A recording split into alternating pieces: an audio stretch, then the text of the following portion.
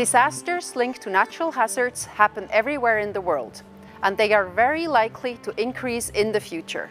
Between 1994 and 2013, earthquakes caused 750,000 deaths and affected 121 million people. Economic damages are estimated at $660 billion.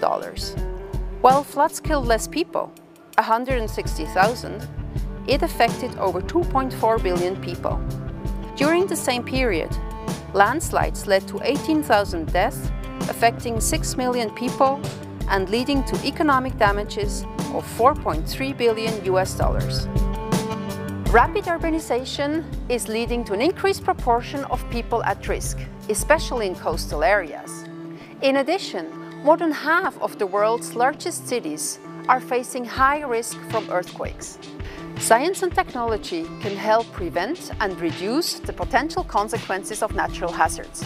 They can help build resilience of communities and lead to more sustainable development. Investments and the use of science and technology have proven to be effective in reducing the impacts of natural hazards. For example, in 1991, 138,000 people were killed by a Category 4 cyclone in Bangladesh. Later, investments were made in embankments, protective mangrove planting, early warning, risk awareness and contingency planning, and the construction of cyclone shelters. In 2007, when a Category 5 cyclone hit Bangladesh again, loss of human life was reduced 26 times and limited to 5,000 casualties. The MOOC, A Resilient Future, Science and Technology for Disaster Risk Reduction, developed by EPFL, aims to introduce you to existing and emerging technologies in DRR while promoting the overall goal of sustainable development.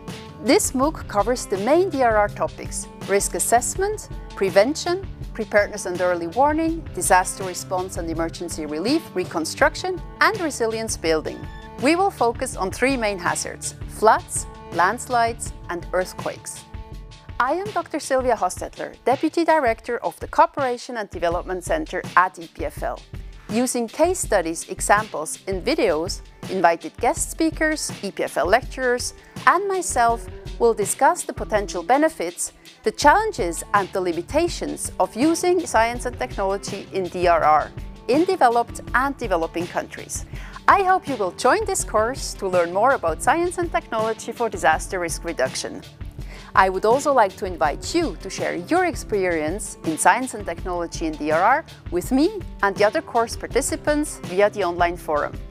I am looking forward to our discussions and I hope you will enjoy this course.